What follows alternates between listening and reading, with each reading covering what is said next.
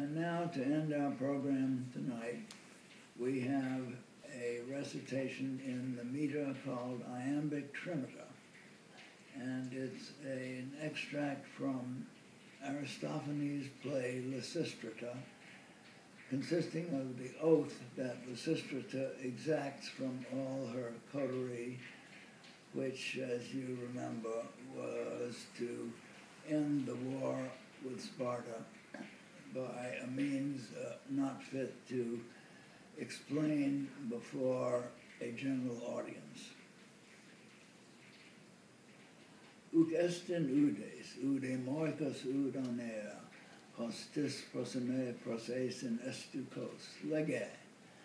Oikoida tarote dioxoton baron, Kokotopharusakai kekalopismene, hopos ananer epitufe maliste mu.